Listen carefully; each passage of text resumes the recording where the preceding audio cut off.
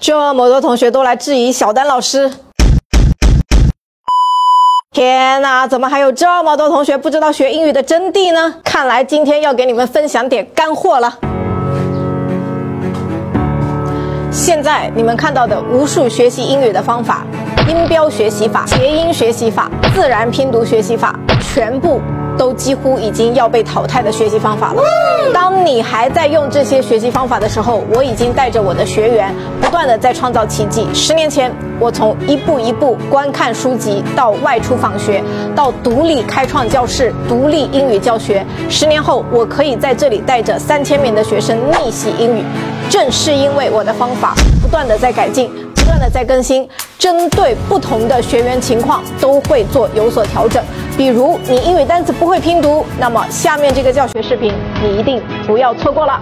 怎么还有人不知道 I R 的发音？I R 的发音是呃呃。比如看这个词，shirt shirt g a o girl skirt skirt b bird bird。不懂方法。浪费时间在学音标，一天只能记几个单词。如果你能把这个努力放在学组合音上，你一天记一百个词，轻轻松松。